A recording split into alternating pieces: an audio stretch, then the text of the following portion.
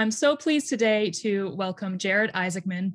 He is the CEO of Shift4 Payments and the commander of Inspiration 4, which is the first all civilian mission to space. Thank you, Jared, for joining us. Oh, thanks for having me. This is such an interesting mission, and it's so such a departure from space flights that we've seen before. So, could you just tell us a little bit about Inspiration 4?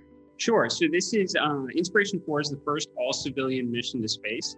It's kind of that first step towards a world where you know anyone can go and explore among the stars. This is the first time in history that it isn't a you know global superpower like the United States or, or Russia or China or the European space agencies to actually put human beings into orbit.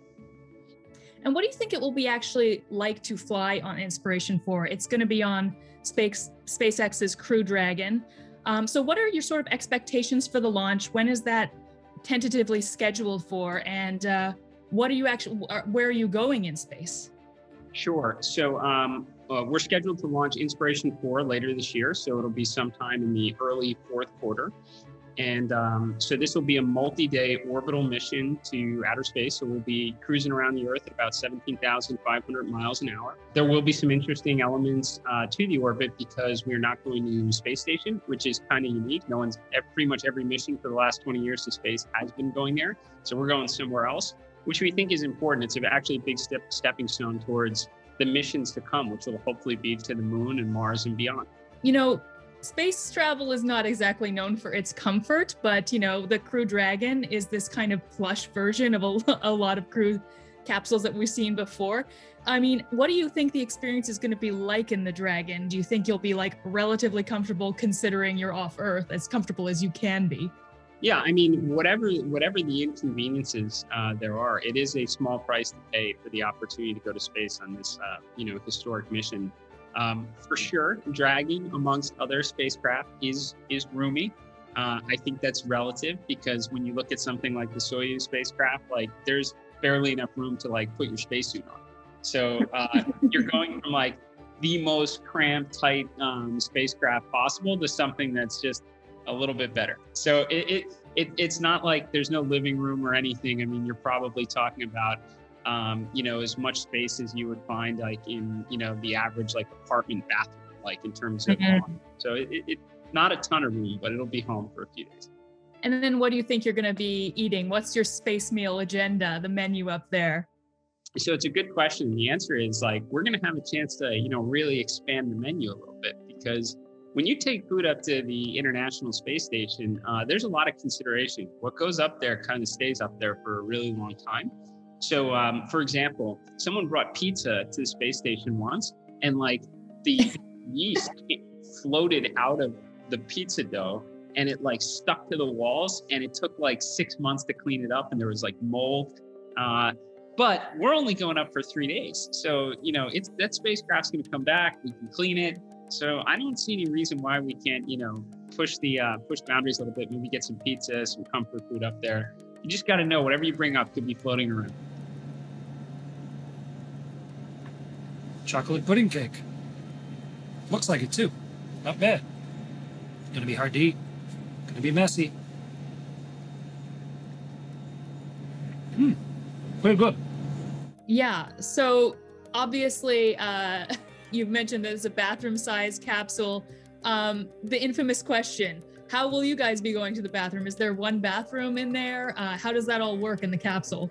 Yeah, so um, not a not a lot of comfort or privacy that you would find in the Dragon spacecraft. I mean, it is tiny. Uh, there is a little bit of a like a privacy shield you can pull up, and you basically are floating to the ceiling of the spacecraft, which is kind of nice that you get to use every bit of the square footage. Uh, and there is a there is a bathroom that is that is built into into the spacecraft system. But yeah, not a lot of privacy, but again, really small price to pay for an opportunity yeah no it sounds it sounds like you're you're a camping trip or something like that. You're just going to have to be very comfortable with your with your fellow mates in the in the ship. When it comes to just basic human necessities like catching some shut eye um, how do you end up doing that in the capsule? Do you sleep in the chair um, and do you stay in your spacesuit when you do that yeah, so good questions. Um, so normally you would take your spacesuit flight off once you make it to orbit. So your your kind of the riskiest parts of the mission would be on launch and recovery, and that's when you wear your spacesuit. Once you're in orbit, you can kind of get comfortable, you know, get into like your your sweatpants or something. And um, yeah, you just can sleep anywhere. I mean, like you can sleep on the ceiling. I mean, you're you're you're you're in you know, um, you know, zero gravity. So uh, there's a lot of flexibility. I don't know if I'm going to sleep in the uh, in the chair or not. I haven't given a given a whole lot of thought to it, but I'm probably gonna. I think we're gonna all try and really maximize the space. That's my guess. Yeah, and I can't imagine what kind of weird dreams you might be having in, in microgravity. So you're also a very accomplished pilot, and I just wanted to ask uh, how much of this space flight will be automated, and if it's quite a lot of it, will you ever feel like, as a pilot who's a hands-on flyer, like a little frustrated that you want to like get onto the manual a bit? You know, how much is manual, how much is automated?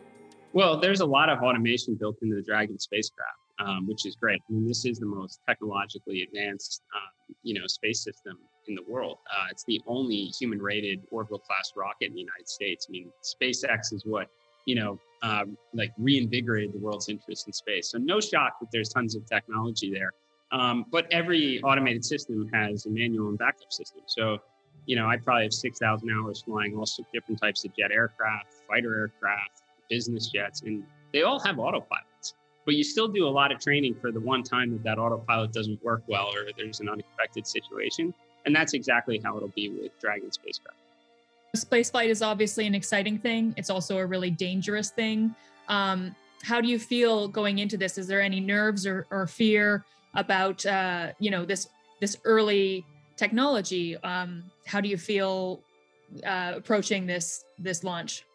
Yeah, so I'm super confident. Like I I I, I think that when I you know compare spaceflight to you know, flying air shows where we were, you know, flying fighter jets 18 inches apart from other aircraft. That was, you know, way, way higher risk.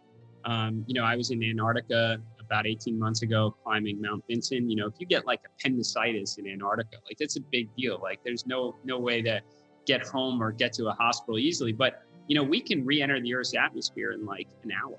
Um, so I and I'm like hyper confident in everything that SpaceX has developed, like amazing technology. These are the people, by the way, that have given us that that great footage of rockets landing on ships and next to each other. So very, very confident there. The other thing I'd say is like, you know, there's a, there's a degree of, you know, people just being scared of, you know, the unknown because there's a, a lack of familiarity with it because not a lot of expo- people have had exposure to it. So there's very few people have had the opportunity to go to space. Like imagine like you know, 40 years ago when you're talking to like a doctor who's like, I got this great idea.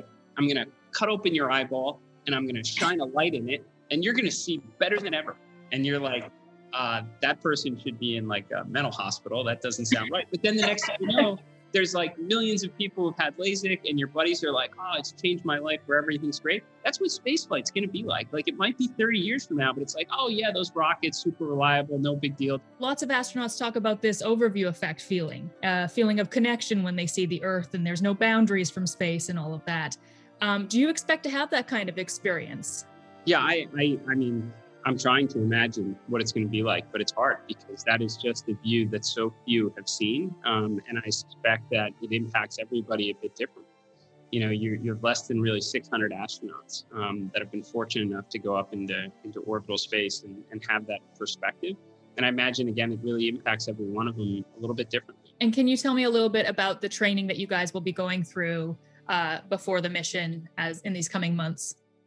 Absolutely. So, um, you know, the FAA says that before we ever get strapped into the rocket, that we are uh, commercial astronauts, um, and we're obviously starting as all civilians. With none of us have been to space before, so we have to use uh, from now until uh, the end of the year to get ready, and we'll be following a, uh, a training curriculum that has been overseen by NASA when they human rated the Dragon spacecraft system, the Falcon system um, you know, that SpaceX, you know, has put together with, you know, a lot of, you know, oversight going on 60 years of lessons learned in space. Uh, and it involves a lot of simulator training. Um, that simulator training with us as a crew, with mission control. Um, there is a lot of, um, you know, survival type training, whether it's at the pad, uh, the launch pad, or in the water, because we do splash down in the water. So it, it's pretty extensive, but um, mostly it's making sure that we can handle anything that's thrown our way that would have been unexpected. This is, I think, why the mission so is exciting is it's civilians. You know, uh, obviously it's exciting that astronauts have have broken so many boundaries, but for the rest of us, we're really hoping that we'll have the opportunity to be able to go to space in bigger numbers in the future. So, do you see this sort of as the beginning of, you know, that sort of advent of really civilian space flight? No question. Like 100% agree with that. Like i, I totally believe I've, I've drank the kool-aid. I'm a huge spacex fan obviously. I don't know if it's 50 years 100 years from now it, it will be like the jetsons. Like everybody will be jumping in and out of rockets and they'll go from point a to b in like minutes instead of hours. And there'll be a lunar colony and there'll be a martian colony. Um, but if all those things are going to happen you know two things as it relates to our mission we really need to succeed. You know one of which is we, we have to get our mission right for all those others to follow. Like if if we don't execute really well, then it slips the timeline to the right for all the other missions to come. But I have no doubt like this is coming. I mean, if you if you just look to history, uh, you know, Charles Lindbergh flew across the Atlantic Ocean. Um, that was one person, and it was super expensive. And 12 years later, you had the first Pan Am transatlantic commercial service, right? So it doesn't take very long for all these other great things to follow. I think it'll be the same way with our mission you know you kind of reference this like what's it going to be like in 50 years 100 years? Although that's really difficult to predict what are some of the big milestones that you're hoping happen in that kind of time frame i, I mean i think you know people you know see the videos on social media uh, starship which is spacex's big like deep space exploration type um, you know spaceship.